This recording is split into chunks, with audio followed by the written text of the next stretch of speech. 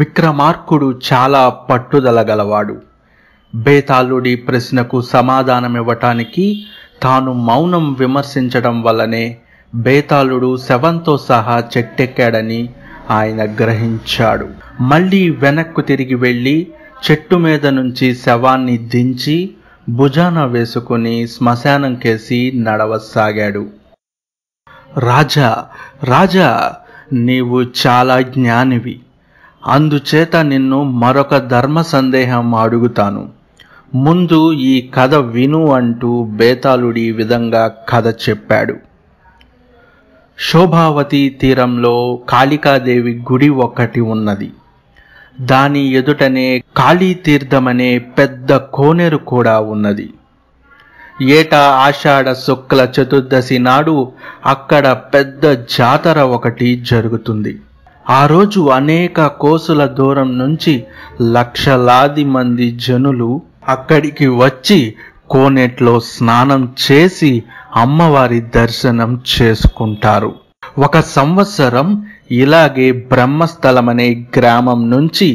ధవలుడనే చాకలి ఉత్సవానికి వచ్చాడు కోనేటి వద్ద స్నానానికి వచ్చిన వారిలో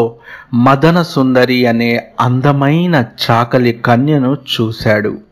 దాని ఊరు పేరు తండ్రి పేరు విచారించాడు ఆ మదన సుందరి తన భార్య అయితేనే తప్ప అన్నం ముట్టరాదని శపథం చేశాడు ఉత్సవానికి పోయి తిరిగి వచ్చినప్పటి నుంచి ధవళుడి చిక్కిపోతుండటం గమనించిన వాడి తండ్రి కారణమడిగాడు మదన సుందరి విషయమంతా ధవళుడు తండ్రికి చెప్పేశాడు ఈ భాగ్యానికే నిద్రహారాలు మానాలట్రా నాయన దాని తండ్రి నాకు స్నేహితుడే ఇప్పుడే బయలుదేరి పెళ్లి ఖాయం చేసుకొస్తాను నువ్వు లేచి అన్నం తిను అని తండ్రి చెప్పాడు అనుకున్నట్టే పెళ్లి స్థిరమైంది మంచి లగ్నం చూసి ధవళుడికి మదన సుందరికి పెళ్లి చేసేశారు ధవళుడి భార్యను తన ఇంటికి తెచ్చుకొని సుఖంగా కాపురం చేస్తున్నాడు ఇంతలో ఒకనాడు ధవళుడి ఇంటికి వాడి బావ మరిది వచ్చి బావా మా ఇంట గౌరీ వ్రతం చేసుకుంటున్నాం నిన్ను చెల్లెల్ని తీసుకుపోవడానికి వచ్చాను అన్నాడు మర్నాడే ధవళుడు తన భార్యతోనూ బావమరిదితోనూ అత్తారింటికి బయలుదేరాడు వారి దారి శోభావతి నగరం మీదుగానే ఉంది వారు ముగ్గురు కాళీ ఆలయం దగ్గరికి చేరేసరికి ధవళుడికి అమ్మవారి దర్శనం చేసుకోవాలనిపించింది భార్యను బావమరిదిని రమ్మంటే ఉత్త చేతులతో అమ్మవారిని చూడటం తమకు ఇష్టం లేదన్నారు ధవళుడు ఒక్కడే గుడి లోపలికి వెళ్ళాడు గుడిలో అమ్మవారి చూడగానే ధవళుడి ఒళ్ళు పరవశమైపోయింది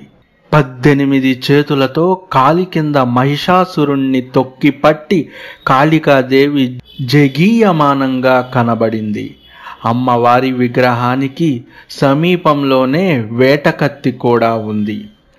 ఈ దేవికి అందరూ బలిచ్చి పుణ్యం సంపాదిస్తారు నన్ను నేనే బలి ఇచ్చుకొని ఏకంగా మోక్షం సంపాదిస్తాను అనుకొని ధవళుడు దేవిని ధ్యానించి వేటకత్తి తీసుకొని